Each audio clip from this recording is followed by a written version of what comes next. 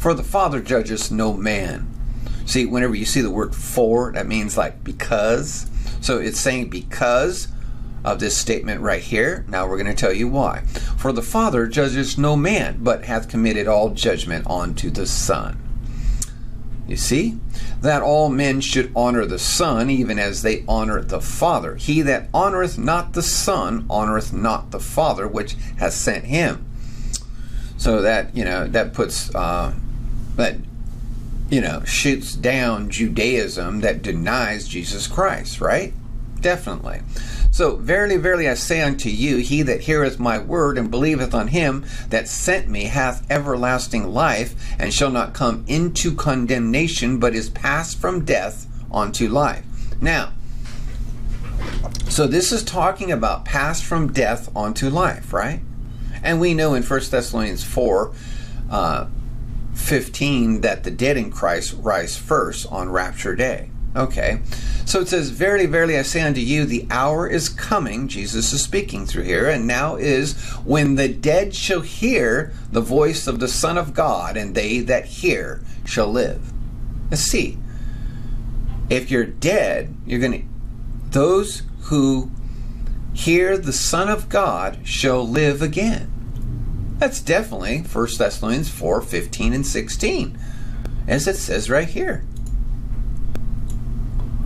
For this we say unto you by the word of the Lord, that we which are alive and remain unto the coming of the Lord shall not prevent them which are asleep. Why? Because it says, For if we believe that Jesus died and rose again, even so them also which sleep in Jesus, which means you're dead in Jesus, the body of Christ dead in the the, the grave, will God bring with him. Then it says, um, for the Lord himself shall descend from heaven, and with a shout, and the voice of the archangel, with the trump of God, and the dead in Christ shall rise first.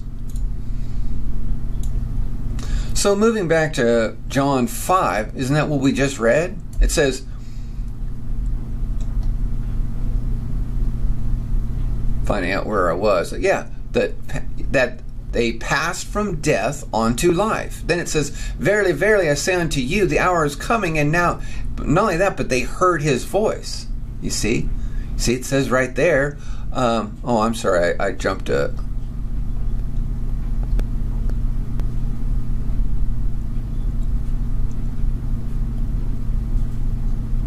Okay, let's let's read 524. It says, um, Verily, verily, I say unto you, he that heareth my word and he believe and believeth on him that sent me, see, you have to believe in Jesus and God the Father, and hath everlasting life, and shall not come into condemnation, but is passed from death unto life.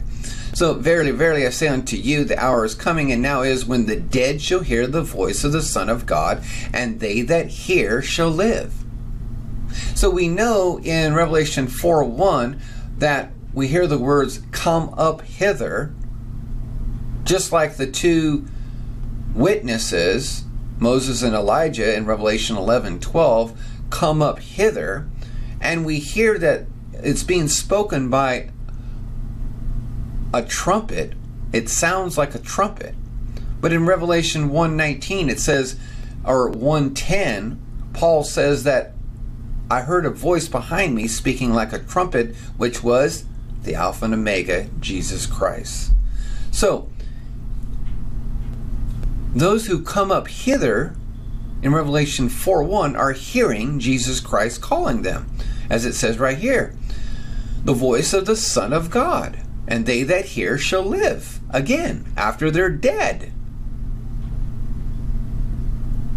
So that proves that Paul the Apostle said that the rapture was a mystery but it was not hidden entirely. You see, if you study the Bible intently, the mysteries of from the Old Testament start to wake up. They you start to see what they mean, but this is just obvious here. So we move on forward. It says, For as the Father hath life in himself, so hath he given to the Son to have life in himself. Jesus Christ raised, raised from the dead. And after Jesus Christ was raised from the dead, he was given all authority to judge us and to call us up from death to everlasting life. You see how it works? And hath given him authority to execute judgment also because he is the Son of Man. So that's definitely telling you the Son of Man is the Son of God. Marvel not at this, for the hour is coming in the which all that are in the graves shall hear his voice. This is the second time. Or maybe it's the third time already now. We just heard it up here. Voice of the Son of God, and he that hears shall live. He that heareth my word and believeth on him pass from death on to life. So it's actually the third time, but second time for hear his voice. And shall come forth they that have done good unto the resurrection of life, and they that have done evil unto the resurrection of damnation. Oh, I guess those Ruckmanite uh, easy believers, millennials that believe that we don't need to repent and turn from sin, have just been thrown into the resurrection of damnation, into hell and lake fire. Wow. Amazing, huh? Easy believers. Just believe on Jesus and you're saved. And you know, one of their favorite sayings is, is that if you don't believe in Jesus Christ paid for all your sins, then you don't trust in Jesus and therefore you're not saved. If you think you have to repent of your sin, you're you're practicing work salvation. But little do they know that returning from sin is not work. It's not a work. It never was. Never was. Not only that, but works salvation. It's true. We are not saved by works. But in Isaiah 64 6, it says, all our works are as dirty rags to God, right? So why does Paul say we are created in Christ's workmanship in Ephesians 2:10? Because after you believe and after you are sealed, then he says that we should walk in his ways. You see, that's Christ's workmanship. That's not your works. That's Christ's working, works working through you. Big difference. Okay. So, this verse right here, John 5 29, by Jesus himself, just damned easy believers to hell. You must have a changed life. When you turn from sin, it doesn't mean you can turn from all sin and never sin again. We are created in iniquity, Psalms 51 5. It's impossible. Okay?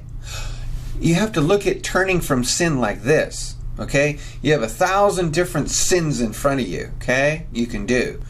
You can have fornication, sex, masturbate, murder, all kinds of things. Porn, drugs, you have all kinds of things right in front of you, right? Okay? What happens when you turn your, your head from that? Okay? Have you eliminated them from your life? No. You're simply turning away from them. But guess what? You tend to fall back sometimes. And at first, you fall back a lot. But as you slowly have Christ's workmanship working through you, and you read the Bible and study the Bible day after day, and you pray earnestly, asking God for forgiveness. John 1 John 1 9 says that He is faithful and just to forgive us of all sin. Then we know and trust that Jesus did pay for all of our past, present, and future sins. But doesn't mean we don't ask for forgiveness for them. But it doesn't mean that we don't turn from sin. That's the work. That's the um, salvation plan. Okay? The gospel is what saves you. The gospel, 1 Corinthians 15 1 through 4, that Jesus went to the cross and on the third day in short, was resurrected. Okay? And that you believe on this, you shall be saved. But that's only the beginning of your changed life, your sanctification of turning from sin and a person that is strive unto the mastery, as Peter says.